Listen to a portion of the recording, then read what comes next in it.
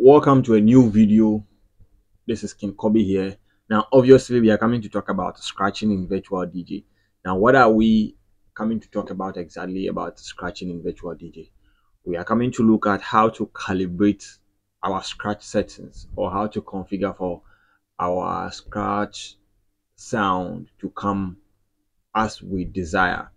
So i will show you two things. One is to where to set your hotkeys and the second one is how to calibrate the the sound quality in the options right? So now normally if you are using a controller or if you are scratching you might want to scratch just at the beginning of the beat. So just like what we have i think i'll have to try and zoom in so that you get to understand what i'm trying to say right? So usually when you want to scratch you don't want to scratch on top of the kick or the first beat or the first kick or whatever you want to do.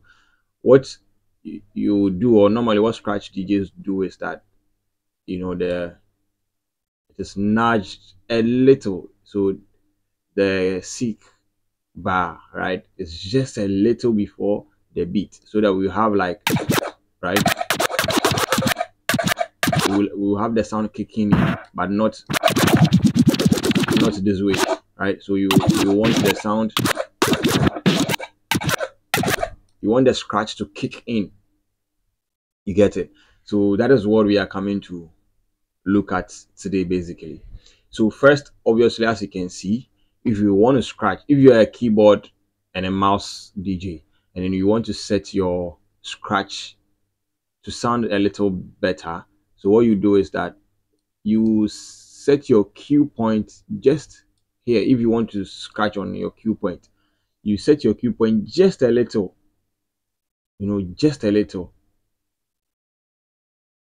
before the first kick. So somewhere here. So if i press now you see i have that sharp kick coming in like that. If you are using your mouse obviously you just have to bring it back and then let it kick in that way.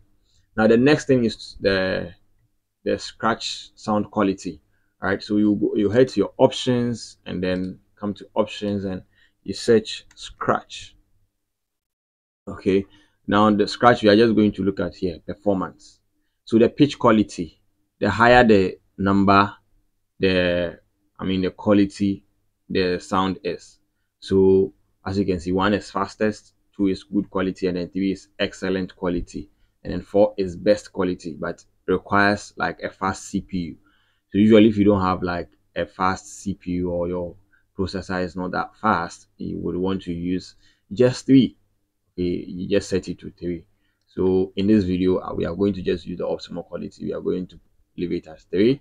And then the so that's the pitch quality right? We've set the pitch quality to three. And then the filter quality 30 is the maximum right? But also requires like higher um cpu usage so we might want to put it at 15 I mean, worst case 20. But I mean, if your CPU is like very fast and then um, you can just put it at 30. All right. So that is just it. We now have it.